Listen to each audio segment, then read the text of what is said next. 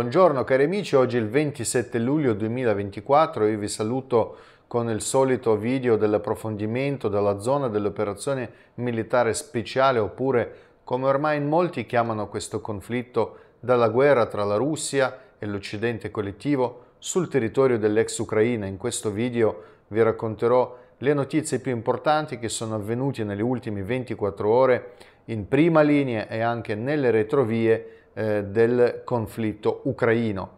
Innanzitutto partiamo dai bombardamenti, ormai come eh, sempre accade ogni notte ci sono scambi di bombardamenti con i droni, così di notte 21 droni UAV ucraini sono stati abbattuti sulla regione di Bryansk, 6 droni UAV di tipo aereo ucraini sono stati abbattuti nel cielo sopra la regione di Kursk, nella regione di Lipetsk un drone delle forze armate ucraine è precipitato accanto a un edificio residenziale nel villaggio di Racino, nel nord della regione di Rostov. Due droni UAV sono stati intercettati e distrutti con l'uso degli apparecchi REP della guerra elettronica. Allo stesso tempo, sempre nella notte, i russi hanno colpito con i droni UAV Geragn 2 i territori della regione di Odessa, regione di Nikolaev, e anche eh, Sume. Ehm, per adesso si parla di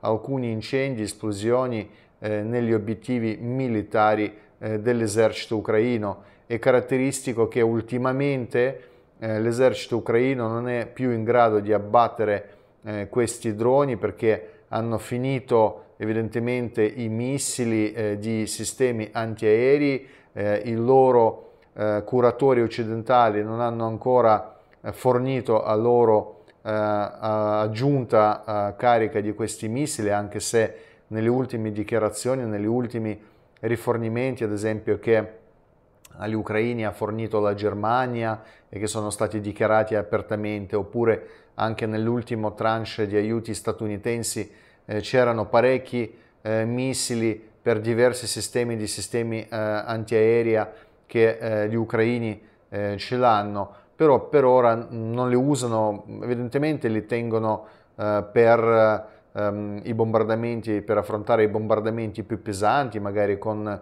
utilizzo eh, dei missili da crociera. Comunque questa notte i russi non hanno avuto alcun tipo di ostacolo per i loro droni Geran 2. Tutti i droni sono arrivati eh, alla destinazione. Nella direzione di Kharkov, cari amici, ci sono feroci battaglie nel villaggio Volchansk. Dopo i tentativi falliti di ieri di attaccare le posizioni del gruppo Nord, le forze armate ucraine si stanno raggruppando cercando di ripristinare le loro capacità operative nella zona di Staritz. L'esercito ucraino ha intensificato gli sforzi per catturare l'insediamento e ha attaccato due volte le posizioni delle forze armate russe in un giorno però senza ottenere alcun successo. Subendo le perdite, gli ucraini sono stati costretti a ritirarsi. Secondo gli osservatori dei servizi segreti militari russi, negli ultimi due giorni nella regione di Kharkov tra le truppe ucraine sono apparsi parecchi mercenari francesi. Evidentemente l'Occidente concentra i propri sforzi per evitare il crollo del fronte ucraino anche in questa direzione. A nord della parte orientale di Chasov Yar, le forze armate russe stanno espandendo la zona di controllo sulla linea del canale idrico Severske Donetsk-Donbass a ovest di Kalinovka in direzione Toretsk, che si chiama anche Dzerzhinsky. Le forze armate ucraine stanno portando in battaglia le riserve nella speranza di fermare la spinta dei russi che ha distrutto la difesa ucraina in questa zona. Le forze armate russe avanzano nella zona di New York, Navagorodsk si chiama così sulle mappe questo eh, villaggio, e anche vicino a Zelesny, che sulle mappe lo trovate anche con il nome di Zalisny, e anche Kirovo. In direzione Pakrovsky, a ovest di Avdiivka, le forze armate russe stanno sviluppando un'offensiva sul settore meridionale del fronte il gruppo d'assalto russo ha piantato una bandiera nella parte centrale di Yasnabrodovka. A nord le truppe russe operano con successo a ovest di Novoselovka I, a sud-ovest fuori dall'insediamento Volce, che tra l'altro stamattina è passato sotto completo controllo dei russi. Ora i riparti d'assalto russi si muovono verso il villaggio di Vissole.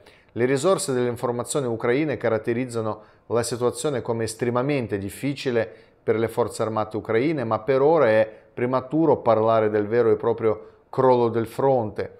Anche se gli ucraini fuggono dalle loro posizioni, comunque l'esercito di Kiev continua a opporre una resistenza organizzata e feroce nonostante la perdita quotidiana delle eh, posizioni in prima linea.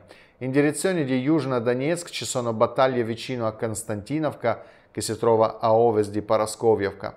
A Krasnogorovka ci sono battaglie posizionali con l'uso dei droni e dell'artiglieria. La linea di contatto qua rimane ancora invariata.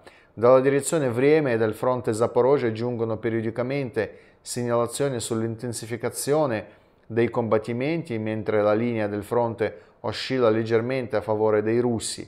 Le risorse dell'informazione ucraine indicano che l'esercito russo sta accumulando grandi forze per un attacco a Gulai Pole. Nessun cambiamento significativo a mh, direzione di Kherson, come su tutto il fronte la questione più acuta rimane la fornitura alle unità operative in prima linea dei droni dotati di termocamere oggettivamente necessarie alle unità operative. Quattro persone, tra cui tre bambini, sono rimaste ferite nel villaggio di Maslavka, nel distretto di Novakakhovsky, di eh, regione di Kherson, a causa dei bombardamenti delle forze armate ucraine che usano eh, droni per colpire la popolazione eh, locale utilizzando, eh, come anche in altre regioni, questo approccio terroristico contro i civili.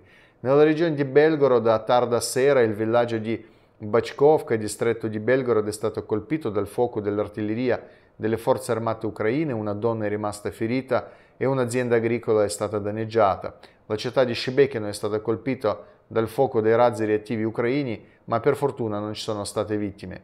Le aree di confine sono eh, sotto costante attacco da parte dei droni FPV ucraini. Nella regione Kursk l'esercito ucraino sta distruggendo le imprese agricole e industriali e gli impianti di fornitura di energia elettrica usando i droni FPV difficili da intercettare e da abbattere. L'intera zona di confine eh, russo-ucraina è sotto costanti attacchi terroristici da parte delle forze armate ucraine. Nella regione di Donetsk nelle ultime 24 ore non, sono, non sono registrati i bombardamenti dell'artiglieria ucraina Evidentemente le sconfitte pesanti subite dai riparti ucraini in questo settore negli ultimi giorni stanno causando le difficoltà agli ucronazisti nell'applicare le azioni terroristiche, comunque sicuramente torneranno a colpire non smetteranno di farlo finché non saranno definitiv definitivamente sconfitti, perdonatemi. E queste sono, cari amici, le ultime notizie dalla prima linea delle retrovie del conflitto ucraino. Io come sempre alla fine dei miei video vi invito di approfondire le informazioni che vi interessano, le informazioni che il nostro mainstream occidentale, in particolare quello italiano, non condivide con voi per via di censura, eh, per via eh, di eh, speculazione che di solito i nostri giornalisti fanno eh, con l'informazione. Sul mio canale privato ehm, Telegram io condivido moltissime informazioni interessanti che provengono da tutto il mondo, non solo dall'Ucraina, le informazioni che non vengono riportate dai eh, nostri giornalisti, dal nostro mainstream, quindi se volete aprire un po' la vostra visuale e in maniera obiettiva raccogliere le informazioni che non troverete sulla stampa occidentale, vi invito di fare abbonamento al mio canale, il link per abbonamento si trova nella descrizione di questo video, a un prezzo modesto di un caffè al mese, voi ogni giorno avete eh, un continuo approfondimento delle notizie, articoli, analisi, poi io ho anche ultimamente iniziato a condividere sul mio canale i documenti un po' più complessi, c'è, un, eh, c'è una grande raccolta di eh, diversi lavori, documenti che io avevo scritto preparando diversi libri eh, di geopolitica. E mm, se vi interessano le tematiche ad esempio legate alla storia dell'Ucraina, all'apparizione dello uh, um, stesso concetto di uh, nazione ucraina oppure uh, le questioni legate all'approccio storico dell'impero russo con altri paesi circostanti, come si sono sviluppate eh, le situazioni in quella zona, ma anche eh, altre tematiche. Io scrivo molto sull'Africa, eh, sul mondo multipolare, sulla geopolitica in generale. Tutti questi lavori io um, pubblico sempre sul mio canale in forma dei documenti PDF, c'è un'enorme um, quantità di questi documenti disponibile per i miei abbonati, quindi tranquillamente potete andare lì e leggere qualsiasi approfondimento su uh, uh, tematiche più disparate, questo sicuramente vi potrà aiutare ad uh, aprire la vostra visuale su ciò che succede realmente nel mondo, su ciò che è accaduto, per evitare di essere vittima della manipolazione anglosassone, perché come voi sapete l'Italia, essendo un paese occupato militarmente dalle anglosassoni, subisce anche una eh, feroce, terribile eh, dittatura dal punto di vista di eh, informazione, quindi eh, per evitare questa dittatura per uscire fuori è necessario informarsi. Io vi invito a fare sul mio canale privato Telegram, ripeto, il link per abbonamento si trova nella descrizione a questo video. Se volete sostenermi qua su YouTube vi invito ad iscrivervi al mio canale, commentare i miei video, condividere i miei video con i vostri amici. Vi ringrazio per la vostra attenzione, per le vostre preziosissime opinioni, per i vostri commenti. Tutto questo è molto importante per me, per il mio lavoro uh, qua su questa piattaforma online. Vi mando un forte abbraccio fraterno e vi voglio bene.